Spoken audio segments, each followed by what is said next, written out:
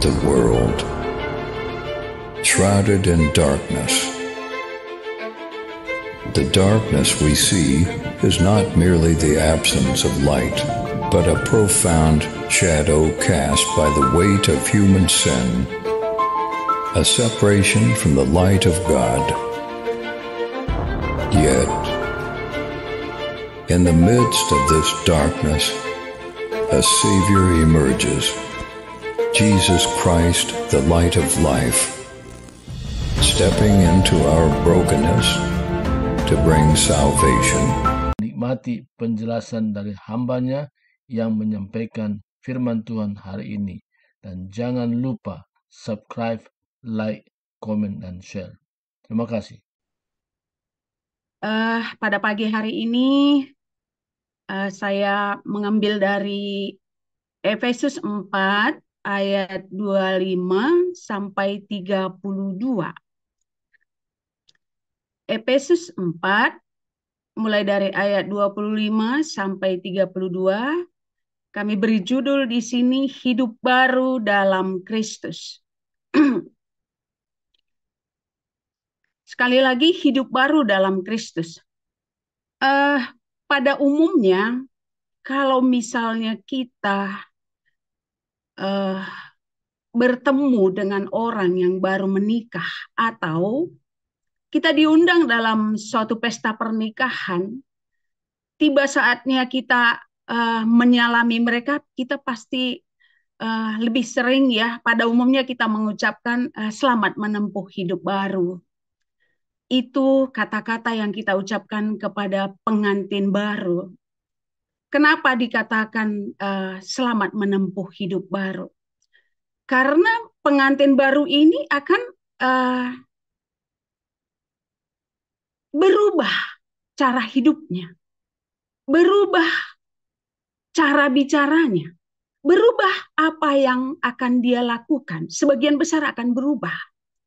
Misalnya sebagai seorang gadis yang selama ini sebelum dia menikah, ya mungkin dia bebas ke sana, bebas ke sini, tanggung jawabnya mungkin kalau dia udah bekerja ya hanya kepada tanggung jawabnya, lalu membantu orang tuanya di rumah.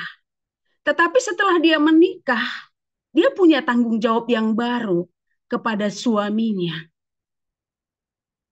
Dia punya tanggung jawab yang baru ketika dia punya anak. Dia akan sebagai seorang ibu. Demikian pun seorang laki-laki, dia akan punya tanggung jawab yang baru kepada istri dan anak-anaknya. Nah, jadi dalam hal ini banyak hal yang harus dia tinggalkan. Kehidupan-kehidupan semasa dia bujangan, semasa dia gadis, banyak hal yang harus dia tinggalkan demi terbangunnya suatu rumah tangga yang berkenan kepada Tuhan. Nah, ini tentang hidup baru bagi pengantin baru. Di sini hidup baru dalam Kristus. Itu tadi yang tertulis dalam Efesus 4 ayat 25 sampai 32. Kita mulai dari ayat 25. Karena itu buanglah dusta dan berkatalah benar seorang kepada yang lain. Karena kita adalah sesama anggota ya, sesama anggota di sini kita sesama anggota tubuh Kristus. Buanglah dusta dan berkatalah benar. Kita tentunya sebelum kita mengenal Kristus, sebelum kita menjadi orang Kristen, dan kebanyakan mungkin di antara kita ini kita menjadi orang Kristen itu sejak dalam kandungan ya. Karena orang tua kita sudah menjadi Kristen. Semakin berhari semakin bertumbuh, semakin hari semakin bertumbuh, pengertian kita pun tentang firman Tuhan semakin bertumbuh. Dan kita akhirnya mengetahui bagaimana sih kehidupan lama, bagaimana kehidupan baru. Kehidupan lama sama seperti yang pernah saya saya katakan uh, jalan besar dan jalan kecil. Jalan besar itu bebas sebebas-bebasnya. Itulah kehidupan lama. Ya, karena apa pun boleh dibuat dalam kehidupan lama. Ya, selama ini mungkin uh, kita melakukan.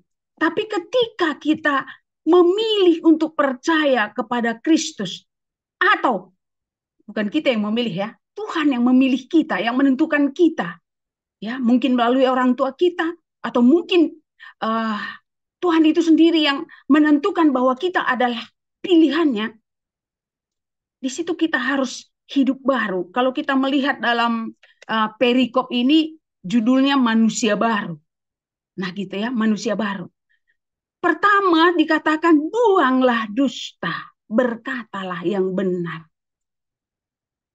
Uh, ada sebuah cerita di dalam Alkitab yang tertulis dalam kisah para rasul 5 ayat 1 sampai 11 tentang Ananias dan Safira. Kita melihat bagaimana uh, kisah ini di mana mereka berdusta. Suami istri sepakat berdusta. Mendustai siapa? Ya menurut mereka mendustai para rasul. Padahal sebenarnya mereka mendustai Tuhan. Di mana pada saat itu mereka ingin uh, melakukan seperti yang dilakukan oleh jemaat mula-mula. Dengan tulus mereka mau menjual harta miliknya untuk bisa dibagikan kepada orang yang membutuhkan. Oh, mulailah iblis merasuk hati mereka. Kau juga bisa melakukan itu. Ayo silakan kau juga bisa, tapi nggak usah serahkan semuanya hasil penjualan tanahmu. Separuh saja mereka nggak tahu itu. Tapi kamu katakan seluruhnya inilah hasil penjualan tanah. Ya tapi Tuhan kan tahu apa yang ada dalam hati kita. Sebelum terucapkan pun Tuhan sudah tahu. Tidak ada rahasia uh, antara kita dengan Tuhan. Ya, belum terucap pun dia sudah tahu. Sehingga apa yang terjadi kita melihat tidak ada ampun bagi mereka. Roh Kudus berbicara melalui hati para rasul bahwa mereka itu berdusta, mendustai Tuhan. Ya, sehingga hukuman langsung terjadi pada saat itu. Wah, ini mengerikan sekali ya. Janganlah sampai terjadi kepada kita. Langsung hukuman itu terjadi mereka. Pertama suaminya mati, berikutnya istrinya.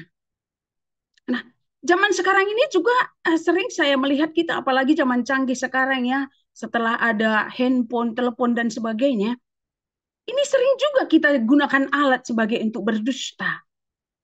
Misalnya sebagai suatu contoh, kita ada suatu perjanjian mengadakan pertemuan misalnya. Lalu sudah sampai jamnya, ada yang menelpon kita. Eh Bu Nelly, udah di mana? Oh lagi OTW. Padahal belum mandi. Nah, kita gampang mengatakan lagi OTW. Nah, ini kan namanya berbohong. Ya, apa sih salahnya kita berkata yang benar? Ih, maaf ya tadi begini begini. Atau kalau memang kita salah, Ih, maaf ya, aduh ketiduran lagi saya. Ini baru mau mandi nih, saya cepat-cepat ya. Neng, katakan yang sejujurnya. Dulu waktu anak-anak saya masih kecil, saya sering saya sering melakukan ini. Tujuannya apa? Supaya mereka mau makan. Ya, ayo nak makan. Ya, namanya anak-anak Jakarta ya pada umumnya susah makan ya. Sehingga saya mulai berbohong kepada anak-anak. Ayo nak makan. Kalau nanti sudah selesai makan, kita pergi ke Mall Cijantung. Kita pergi ke Mall Junction, saya bilang. Eh, semangatlah mereka mau makan, tapi setelah makan mereka menuntut. Ayo, mak katanya mau ke Junction Uh, marah lagi saya. Tadi mama bilang begitu supaya kamu mau makan ya. Wah, besoknya ya hanya sekalinya berlaku seperti itu. Besoknya saya bilang begitu ya nggak nggak percaya lagi dia. Lalu saya ubah lagi, ayo nak makan. Biar kita pergi ke Pulau Kapuk. Saya bilang lagi, di mana itu Pulau Kapuk? Nanti mama kasih tahu setelah kamu selesai makan. Lalu setelah selesai, mana Pulau Kapuk itu? Tempat tidur maksudnya nak. Nah, banyak hal cara yang saya lakukan. Tapi setelah saya sadar, ini berarti saya menanamkan uh, kepada anak-anak saya sejak kecil kebohongan.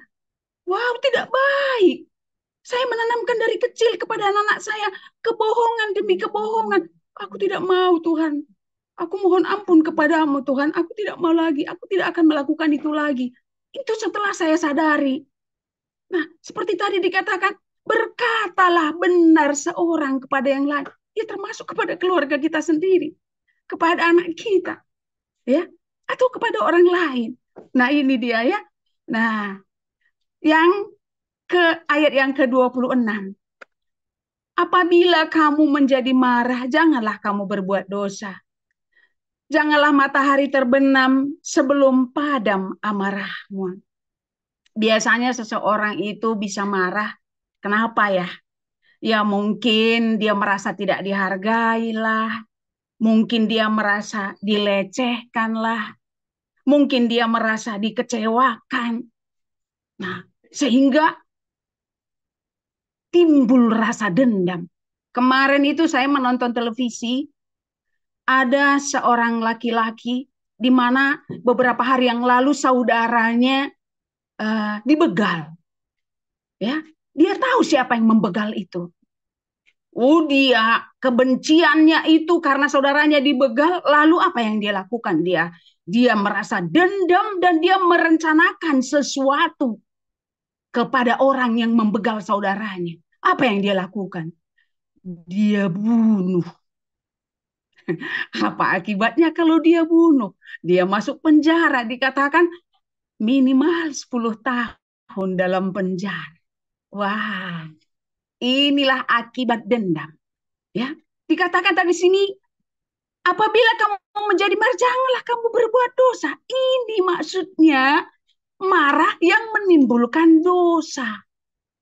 Kita marah-marah dan marah kita itu akhirnya menimbulkan dendam. Bisakah kita marah? Bisa. Tuhan Yesus pernah marah. Ketika orang-orang pada saat itu uh, mengadakan jual beli di bait Allah. Ya, tentang korban persembahan yaitu domba atau kambing. Dia marah karena rumah Tuhan dijadikan sebagai tempat jual beli. Ya mungkin tempat jual beli saja mungkin nggak salah. Ya di depan gereja kami juga sering ada jual lapet lah, jual uh, ketupat lah, nggak salah. Yang salah apa di situ? Mereka memanfaatkan kesempatan itu untuk menguras. Maksudnya begini, bagaimanapun dia pasti membeli kurban ini. Karena dia datang dari jauh, nggak mungkin dia menggiring domba dari tempatnya. Oh, kesempatan buat saya untuk menaikkan harga. Ini yang salah. Sehingga Tuhan Yesus marah. Dia membolak-balikan, membongkar bangkirkan itu meja-meja uh, penjualan mereka. Nah, jadi sebenarnya marah itu bisa, tapi marah itu karena sayang. Ya, karena sayang atau karena kita mengasihi dia, kita menegurnya. Nah, jadi bukan tidak boleh marah, kita boleh marah, tapi marah karena mengasihi. Jangan sampai menimbulkan dendam. Dan kalau sudah dendam akhirnya merencanakan sesuatu. Nah ini ya. Dikatakan janganlah amarahmu sampai matahari terbenam. Sampai matahari terbenam ini bukan berarti Sebelum terbenam boleh marah, marah, marah. Enggak gitu maksudnya. Jangan sampai menimbulkan dendam. Yang akhirnya bisa membahayakan orang lain. Nah, terus ayat yang ke-27. Dan janganlah beri kesempatan kepada iblis. Nah ini, kalau kita sudah dendam terhadap uh, seseorang itu, kita marah, kita tadi menimbulkan dendam. Nah, di situ kita memberi kesempatan kepada iblis untuk merencanakan sesuatu yang jahat. Nah, dikatakan jangan beri kesempatan kepada iblis. Nah, nih. Terus yang ke-28. Orang yang mencuri janganlah ia mencuri lagi. Saya dulu sering mencuri loh. Waktu SMP Ya, mungkin karena pada saat itu kondisi ekonomi orang tua, saya tidak pernah dikasih jajan udah berjalan 4 km ke Brastagi dari kampung saya Guru Singa. 4 km berangkat 4 km pulang. Di tengah jalan apa yang saya lakukan? Nah, apa namanya itu dalam bahasa Karong gugut. Padi orang sedang menguning, saya ambil itu apanya ya? Padi ketan, ya. Saya ambil ketannya, saya potek tiga, tiga, tiga tangkai, eh itu sepanjang jalan itu saya yang saya bilang tadi gugut ya saya buat pakai gigi saya saya buang kulitnya saya makan padinya Itu yang saya lakukan. Dan rata-rata kami yang berjalan itu seperti itu sehingga padi yang ditanam orang di pinggir jalan itu yang ketannya itu bisa habis. Karena tiap hari bisa kami ambil. Atau kalau ada misalnya pohon uh, jambu kelutuk orang itu habis itu kalau di pinggir jalan. Nah ini, itu kan mencuri ya. Nah ini dulu sering saya lakukan.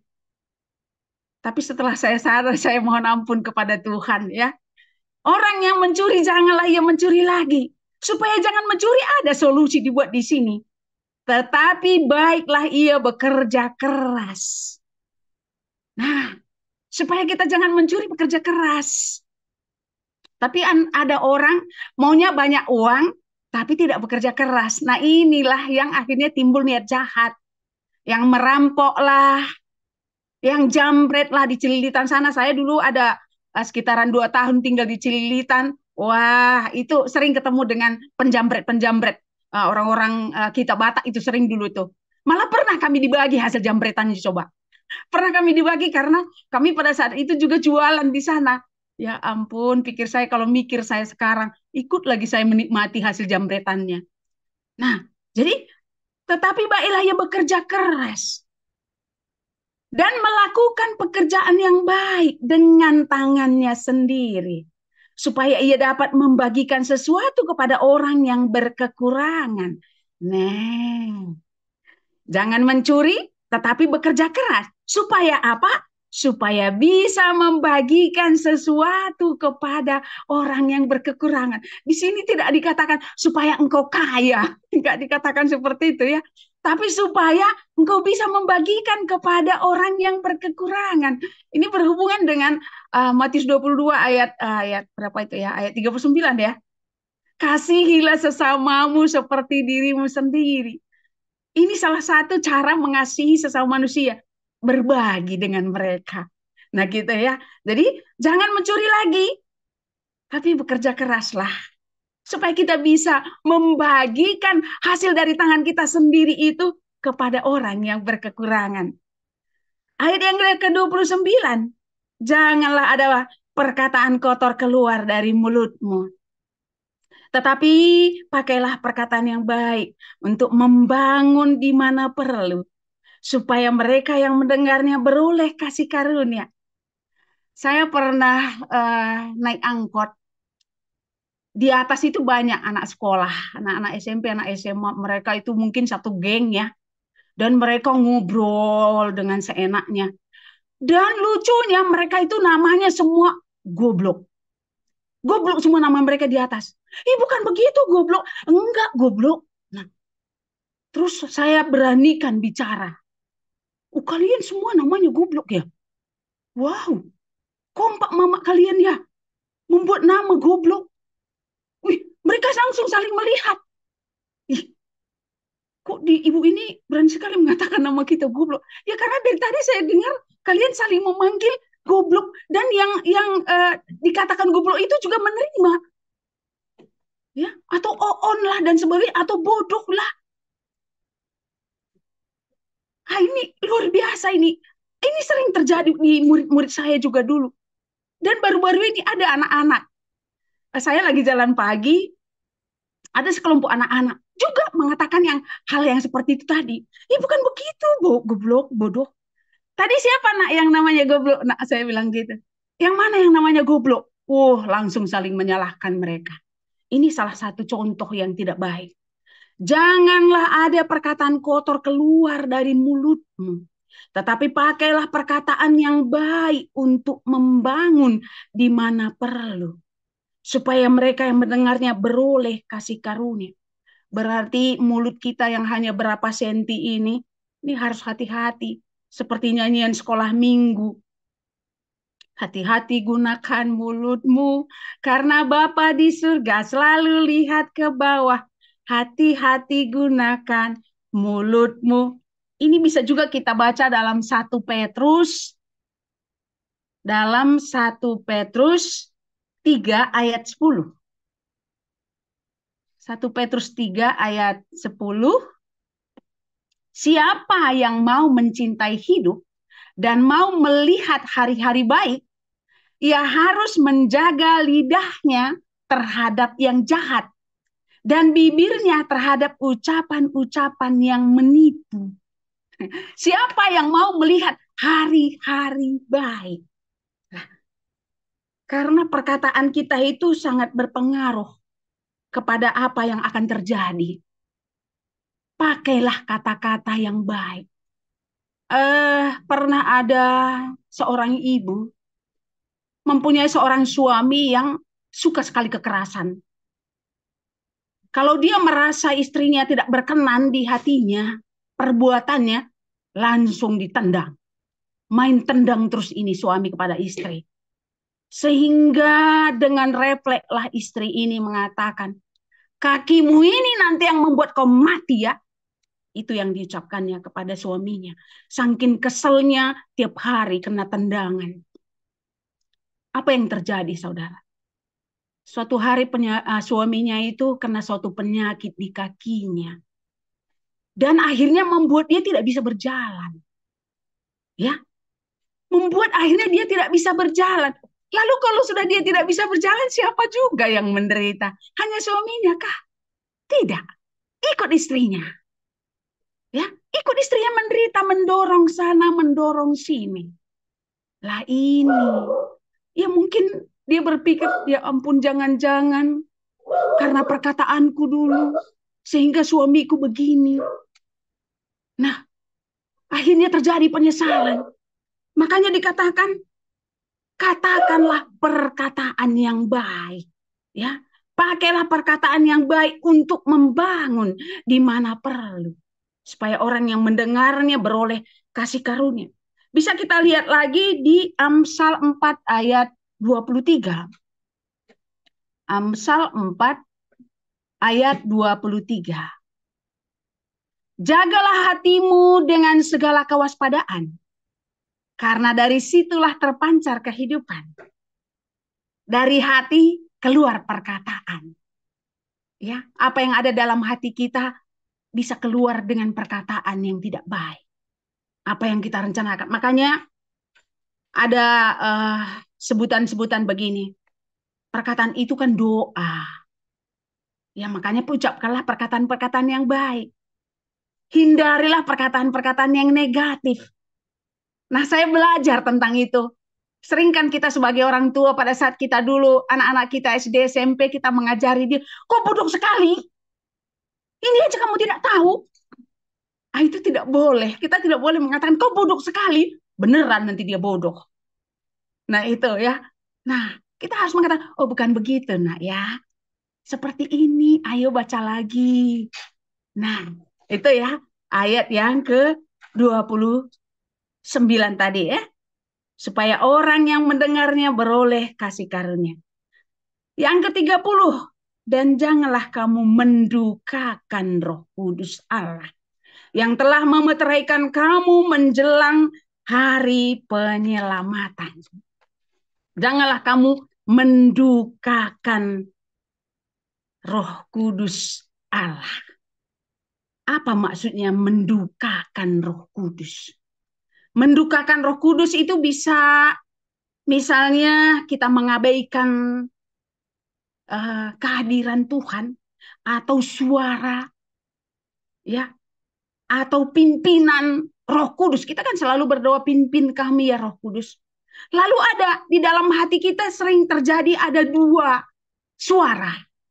Misalnya kita mau katakanlah uh, seorang anak SMP misalnya, kalau dia mau ke gereja atau kita sendiri ya, kita mau ke gereja ada dua perkataan di dalam. Uh, pada saat yang sama ada sedang berlangsung tontonan yang sangat kita sukai misalnya. Katakanlah kalau kita suka uh, sepak bola, pada saat yang sama sama jamnya dengan ibadah kita. Di situ ada perkataan. Yang satu mengatakan, udah nonton aja hari minggu, mah minggu depan juga masih ada. Nah kalau sepak bola ini hanya hari ini. Tapi satu lagi mengatakan, hari ini hari ibadah loh. Hari untuk memuliakan nama Tuhan. Satu hari loh dalam seminggu disediakan Tuhan untuk kita. Untuk menguduskan nama Tuhan, memuliakan nama Tuhan. Jadi ada selalu dua perkataan di dalam hati kita. Nah, jangan kita kalah terhadap ajakan-ajakan iblis tadi. Ya, Jadi dikatakan di sini, jangan kita mengabaikan suara-suara itu, pimpinan Roh Kudus itu. Ya. Nah, jadi apa dikatakan uh, mendukakan Roh Kudus itu bisa membawa kita kepada penolakan kepada Roh Kudus. Ini bisa kita baca dalam Kisah Para Rasul 7, Kisah Para Rasul 7 ayat 51. Kisah para Rasul 7 ayat 51. Hai orang-orang yang keras kepala dan yang tidak bersunat hati dan telinga. Kamu selalu menentang roh kudus sama seperti nenek moyangmu. Demikian juga kamu. Menentang roh kudus. Ya, kalau kita sering melakukan ini, mengabaikan, menolak itu berarti sama kita memadamkan api Roh Kudus. Ya, kita memadamkan api Roh Kudus dan bahkan mungkin kita sampai kepada menghina roh kasih karunia, menghina kasih karunia. Ini bisa kita uh, baca dalam Ibrani Ibrani 10 ayat 29. Ibrani 10 ayat 29 betapa lebih beratnya hukuman yang harus dijatuhkan atas dia yang menginjak-injak anak Allah, yang menganggap najis darah perjanjian yang menguduskannya, dan yang menghina roh kasih karunia. Nih, ngeri ya. Mari kita jangan mendukakan roh kudus. Dan yang paling parah, menghujat roh kudus. menghujat Roh Kudus ini adalah suatu dosa yang tidak bisa diampuni. Ya, bisa kita baca dalam Matius 12 Matius 12 ayat 31. Matius 12 ayat 31. Sebab itu aku berkata kepadamu segala dosa dan hujat manusia akan diampuni. Tetapi hujat terhadap Roh Kudus tidak akan diampuni. Apabila seorang mengucapkan sesuatu menentang anak manusia, ia akan diampuni. Tetapi jika ia menentang Roh Kudus, ia tidak akan diampuni. Di dunia ini tidak dan di dunia yang akan datang pun tidak. Wow, ngeri sekali. Mari saudara-saudaraku jangan pernah kita mendukakan Roh Kudus apalagi dikatakan tadi di sini menghujat. Bisa kita uh, simak dari Matius 12 ayat 31 tadi. Firman Tuhan dengan jelas mengatakan tidak bisa diampuni. Mari kita masuk ke ayat yang berikutnya. Segala kepahitan, kegeraman, kemarahan, pertikaian dan fitnah hendaklah dibuang dari antara kamu. Demikian pula segala kejahatan. Dulu sewaktu saya masih aktif mengajar, kami sering diundang oleh uh, suatu persekutuan. Uh, mereka mengadakan RTS gitu, di, disingkat Racing the Standard. Bagaimana standar Tuhan. Diundang semua anak-anak Kristen di setiap SMP. Di situ ada saya dengar beberapa kesaksian bahwa rupanya ada banyak di antara anak-anak itu punya kepahitan terhadap orang tua. Punya kepahitan terhadap orang tua. Mungkin perlakuan orang tuanya yang tidak baik terhadap dia, terlalu kejam. Atau mungkin orang tuanya tidak pernah peduli sama dia, sehingga dia tidak merasakan bagaimana kasih sayang seorang ayah atau seorang ibu. Ini ada kesaksian-kesaksian di sana. Dikatakan di sini segala kepahitan hendaklah dibuang dari antara kamu. Bagaimana cara membuang segala kepahitan? Mungkin kita ini juga punya kepahitan terhadap orang lain. Yaitu dengan cara mengampuni. Itulah yang dikatakan dalam ayat 32. Tetapi hendaklah kamu ramah seorang terhadap yang lain. Penuh kasih mesra dan saling mengampuni. Sebagaimana Allah di dalam Kristus telah mengampuni kamu. Hanya itu yang bisa membuat kita bisa menghilangkan kepahitan yang ada dalam hati kita.